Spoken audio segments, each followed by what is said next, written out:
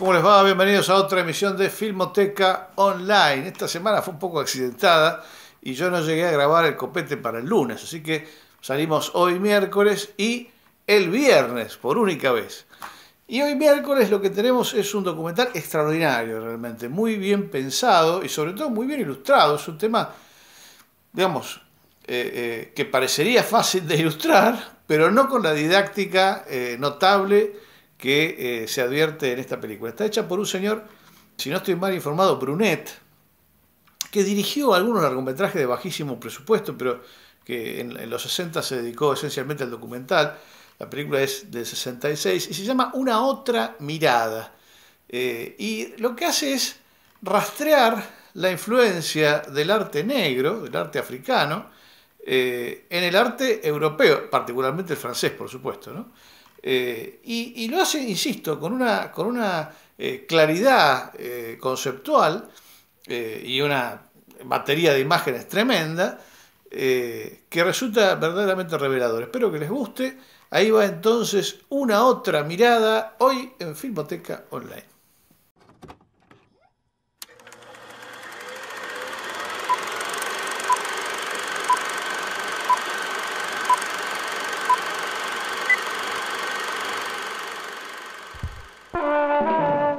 Siglos de obras maestras con un academicismo cuyo agotamiento se extiende por los salones anuales que acumulan monotonía.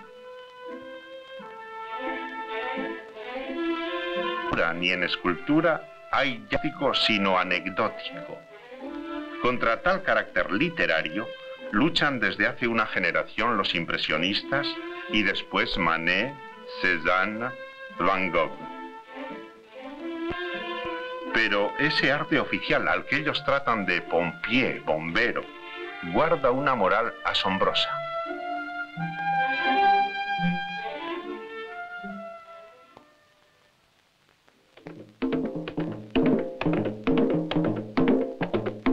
Por entonces, África es un mundo perdido donde la actividad artística no ha pasado de su forma original, la fabricación de ídolos.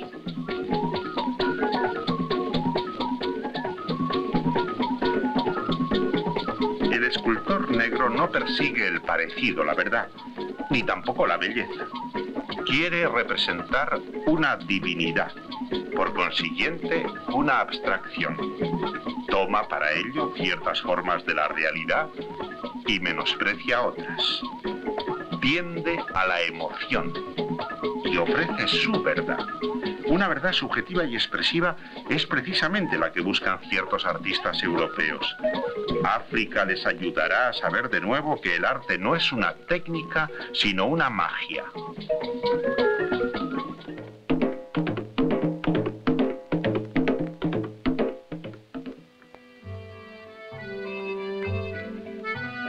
Hacia 1880 los objetos traídos por los exploradores son reunidos en museos pronto son considerados como piezas etnológicas, pero todavía no como obras de arte.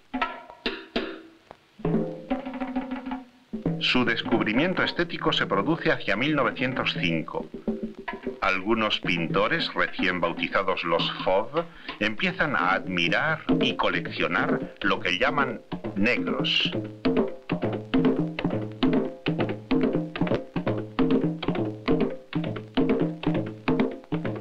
Máscara de Gabón, relata Blamenc, conmovido y encantado la colgué cerca de mi cama. Deren quiso comprarla, me negué en redondo, pero unos días después me encontré sin un chavo, se la llevó y la colgó en su taller.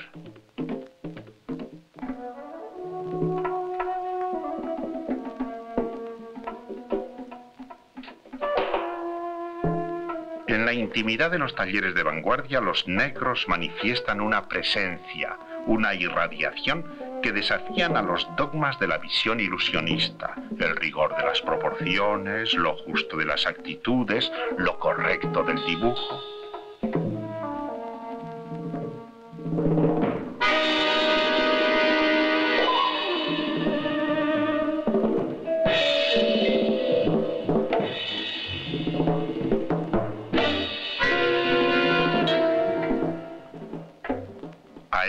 Que pintaba con los ojos, África le ofrece un mirar. Y su magia alienta a los Ford a proclamar, después de los impresionistas, la legitimidad de su visión personal. Visión que es la embriaguez del color. La explosión de los colores es el primer rechazo sistemático de la tradición y es también una explosión de alegría, alegría de vivir, de pintar, de inventar. Así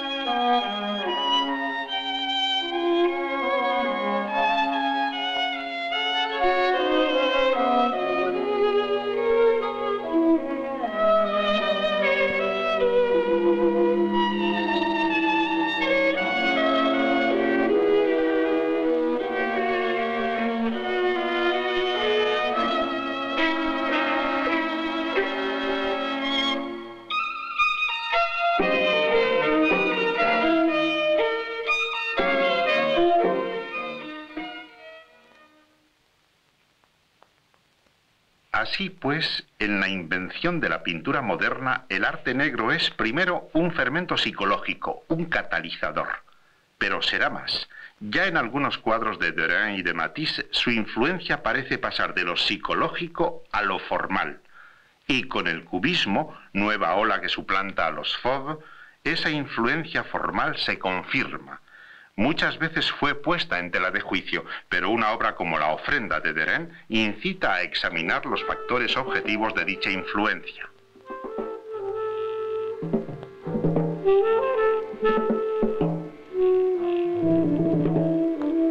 El arte negro opone a la visión ilusionista la interpretación de lo real, y en algunos de sus estilos esa interpretación se traduce por el juego de las superficies puras, el dinamismo de los volúmenes definidos por aristas netas y que se ordenan en ritmos voluntarios.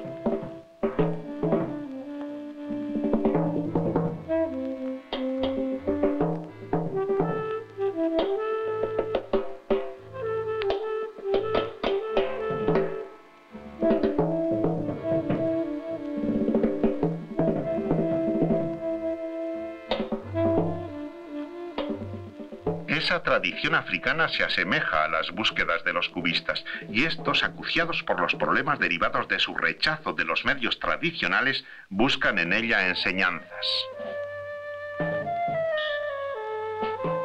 En Braque, primer pintor calificado de cubista tras las audacias coloristas del desnudo Fauve, aparece un grafismo de inspiración claramente africana.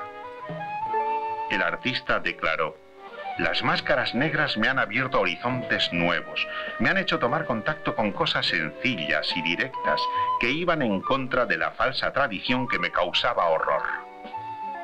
No puede negarse, pues, la contribución africana al vasto itinerario que atraviesa el clasicismo, el fobismo y el cubismo.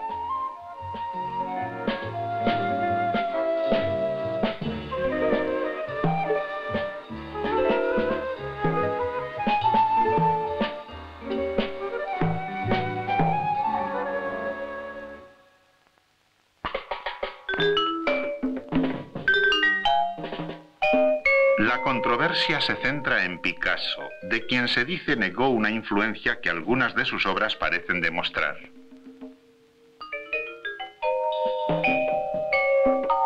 Para las señoritas de Aviñón, su primer gran escándalo se refiere a unos inciertos bronces ibéricos.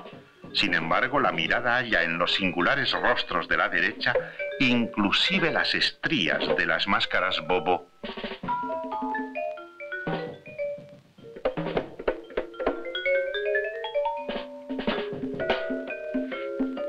Incluso que estas máscaras le hayan inspirado varias veces, y cuando dijo por humorada, no conozco el arte negro, sí lo dijo. Lo que trataba sin duda es limitar la importancia de su periodo negro, total dos años en medio siglo de estudios y de invenciones. Durante esos dos años, Pablo Picasso miró sin duda varios estilos africanos. Algunos, como el bacuele, fueron caminos sin salida. Otros, como el Bamun, parecen haber abierto rutas que llevaban lejos.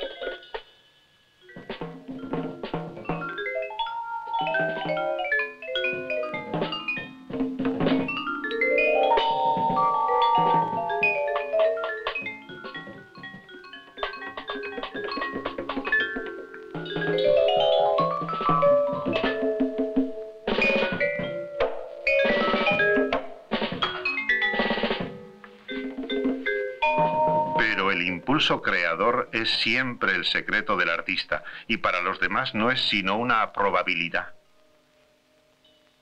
Así, inclusive en Modigliani, un secreto cubre al más sensible y claro de los parentescos.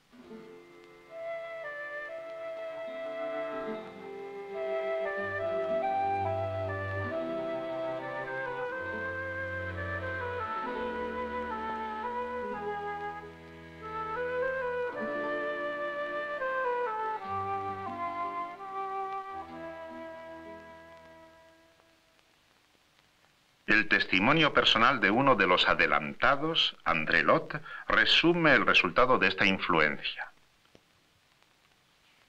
Entonces dice, yo era pintor aficionado y escultor en madera de oficio, preso como todos de la tradición grecolatina, pero las máscaras negras me abrieron el infierno de la escultura pura. Entonces abandoné los estilos y después hasta la imitación de los objetos, y llegué a no sentir más que los valores específicos de las artes plásticas.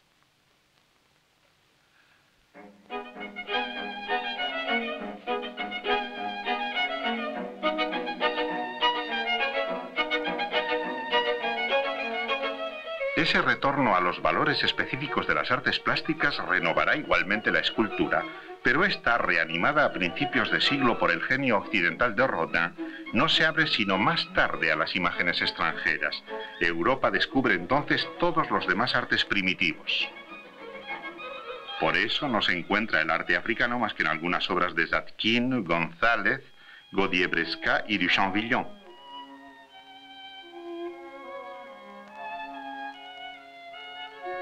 En Modigliani escultor es el arte de Oceanía.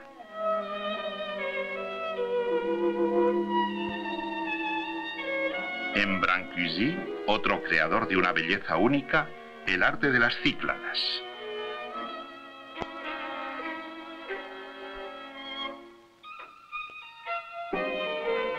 Por último, el arte azteca en Henri Moore de libertades extremas.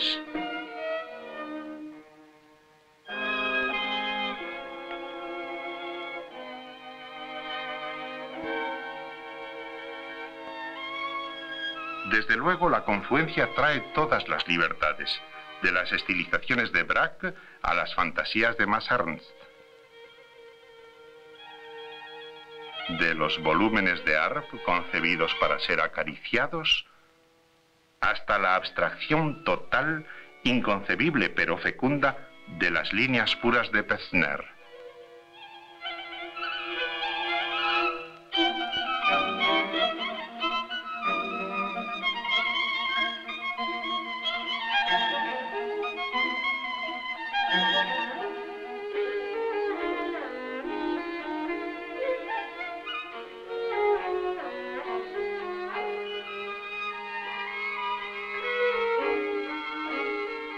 Este camino considerable fue recorrido en medio siglo, al cabo del cual incluso el Palacio del Arte 1900 es invadido.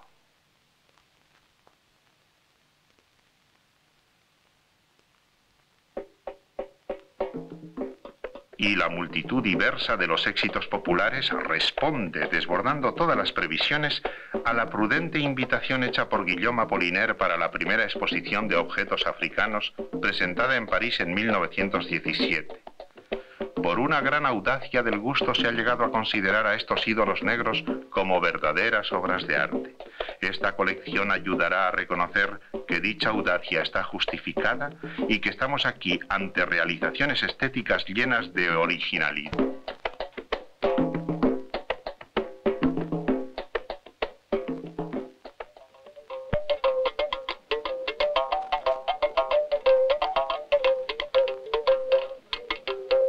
rostro humano.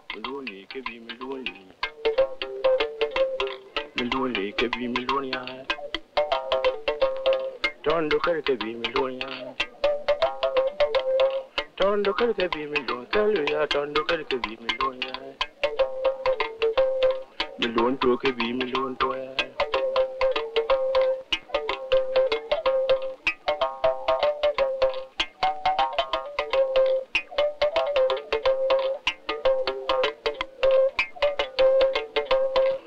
Sin embargo, estas interpretaciones nos parecerían hoy solamente extrañas si precisamente no hubiera vuelto a Europa demasiado disciplinada la audacia del gusto.